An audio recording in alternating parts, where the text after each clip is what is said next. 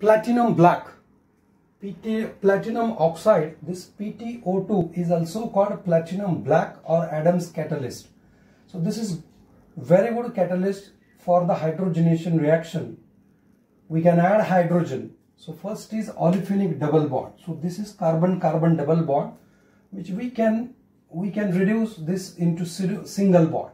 So you are going to add one hydrogen here and one hydrogen here to get this kind of compound means double bond is gone by using this in presence of acetic acid as a solvent. But what I have mentioned here is a cis addition. Cis addition means both hydrogens are added either from upper side or from lower side. So both hydrogens are added from the same side that is the meaning of cis addition. So if you add these hydrogens from upper side you will get this kind of product. Means both methyl group will be gone down. So you have to represent this methyl group like down.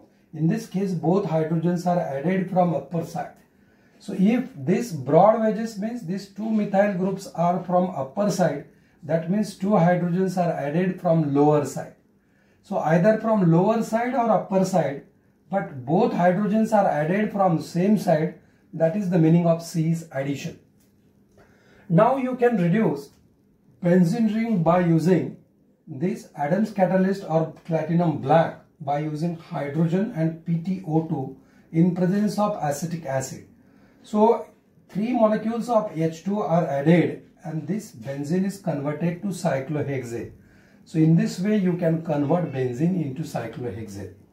Now here olefinic double bond is there and this carbonyl group is also there.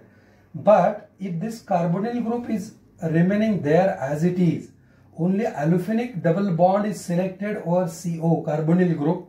So that's why two hydrogens are added on carbon-carbon double bond, not on carbon-oxygen double bond.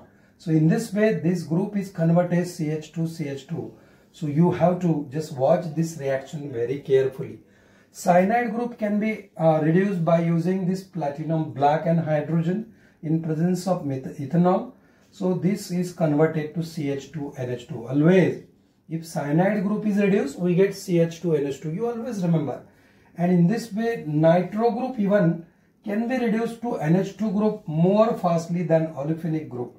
So this is converted to NH2 group. So you always remember NO2 is converted to NH2 and cyanide is converted to CH2NH2. In fact, carbon is converted to CH2 and nitrogen is converted to NH2.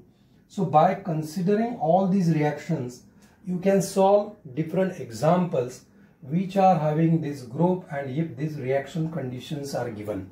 Thank you.